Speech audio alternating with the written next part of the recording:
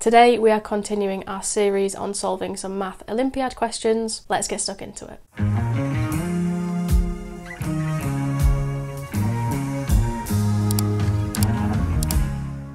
Okay, so we are tackling this problem here today, which says that we have 5 to the power 2004 divided by 100, and we're asked to find what is the remainder that is left over after we perform this operation here. Okay, so we can first start by thinking about the number 5 raised to different powers.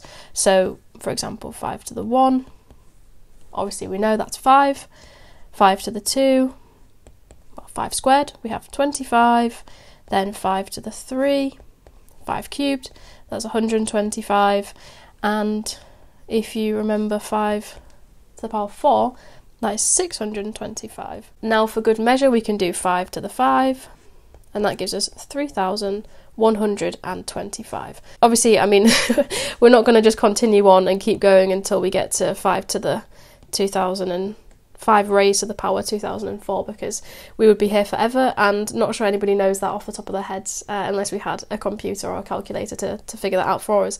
But you might notice that as we started writing, you know, 5 squared, 5 cubed and so on, there is a pattern that's occurring here and it's that after, so say we have 5 to the n, which is 5 to the power n, when n is greater or equal to 2, you notice that it, each of the values that we get out when we square, when we cube, and so on end in 25.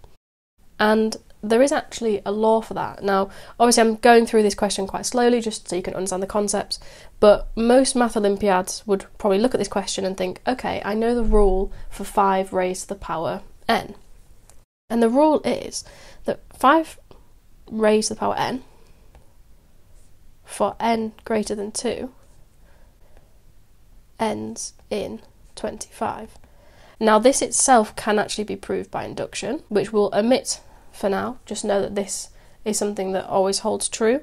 And therefore, we can say that, okay, well, if 5 raised to the power n for n is greater than 2 always ends in 25, we therefore know that 5 to the power 2004 will always will be some number. So let's say it starts with a1 is the number that it starts with, and then some numbers later will have 25. So it will end in 25, which means that when we divide this number by 100, we therefore get left with 25 as the remainder.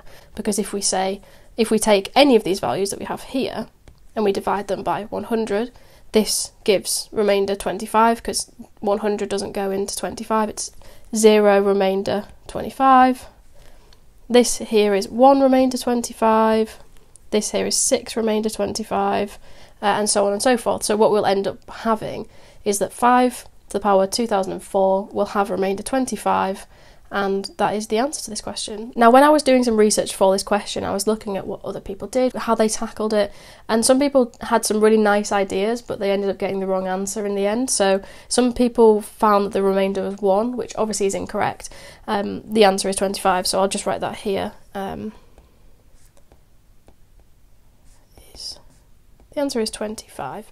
But yeah, some people have looked at this question and given it a go, um, and they've kind of not spotted the immediate thing that, that stands out, and that is 5 to the power n is always going to have remainder 25.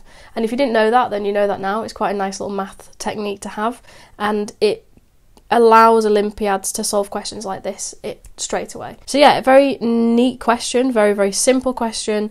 If you spotted this trick here, yeah, Really enjoyed this one. Comment down below any other ways that you would have tackled this question, and comment down below any other Math Olympiad or Astrophysics and Astronomy Olympiad questions you want me to tackle, and I'll feature them on this YouTube channel. Thanks for watching, subscribe, and I'll see you all in the next video.